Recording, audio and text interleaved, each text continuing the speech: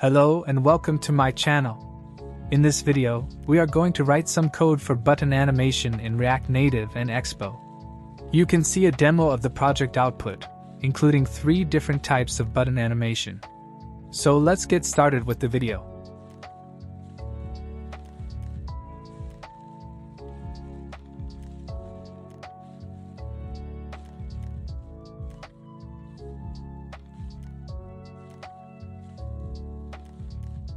First, we need to start an Expo project. Select the blank template, name your application, and continue to download the necessary dependencies.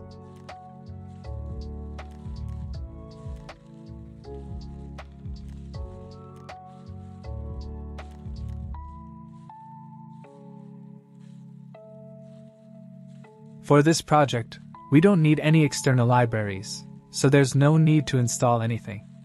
Just import a few components from the React Native library. You can see the code for this on your screen.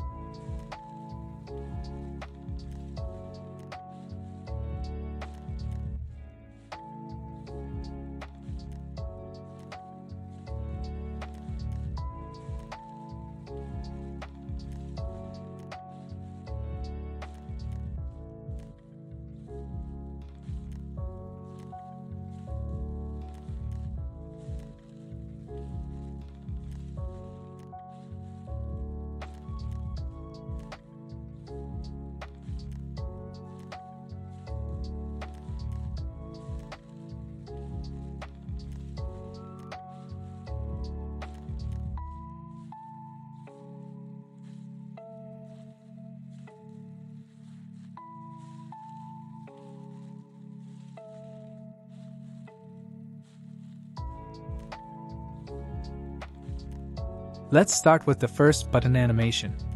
This animation creates a button that shrinks slightly when pressed and then returns to its original size. We create the animation using the animated component from React Native and the useState hook. This allows us to store and update the scale value over time. You can customize the animation by changing the to value, duration, and other parameters passed to the animated.timing function.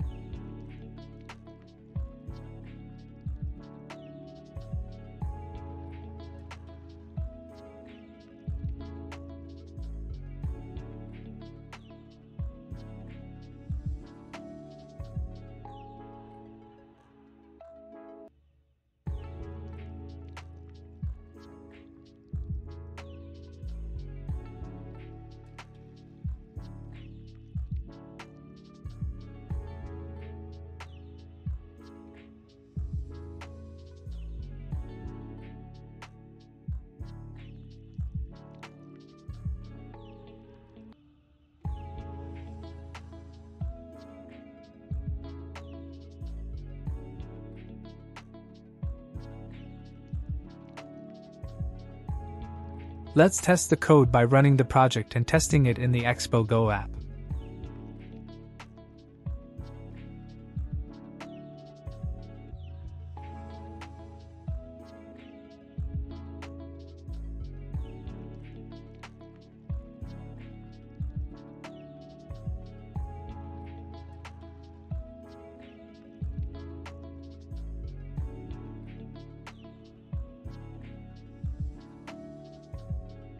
Next, we will write the code for the rotating button animation. This animation creates a button that rotates 360 degrees when pressed and then returns to its original rotation.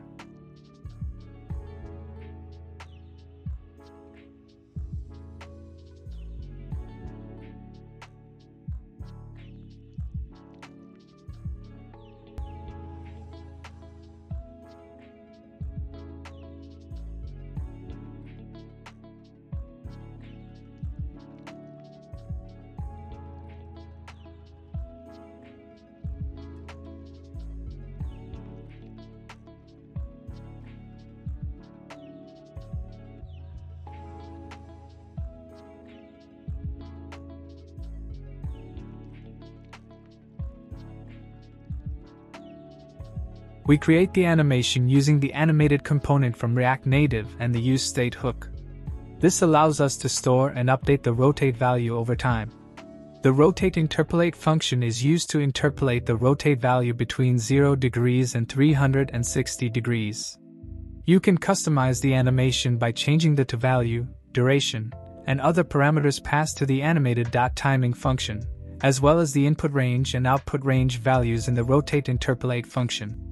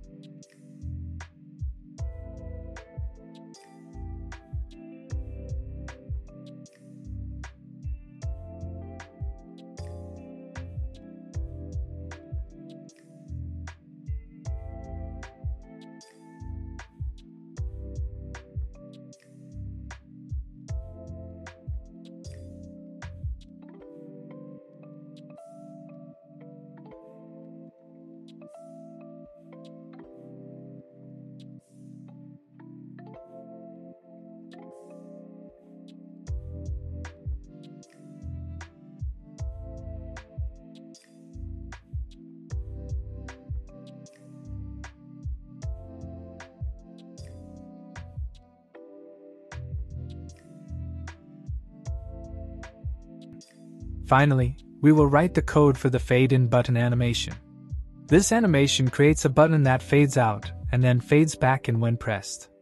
We create the animation using the animated component from React Native, the useState hook, and the sequence method from the animated module.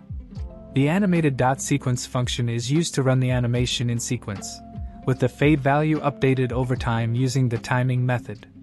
You can customize the animation by changing the duration and other parameters passed to the timing method in the sequence, as well as the to values passed to the timing method.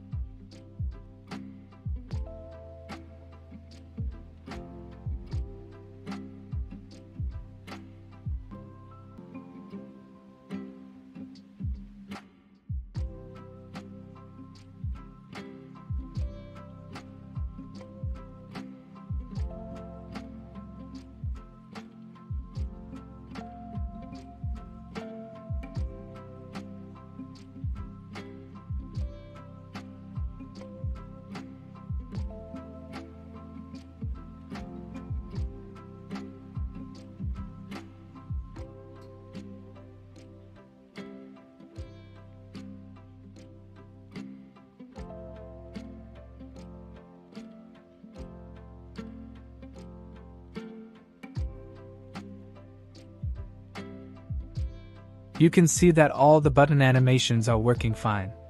You can use these button animations in your project to make it more authentic and creative. I have shown you the basic examples of how animation works in React Native and Expo. If you want a specific type of animation video, please let me know in the comments section.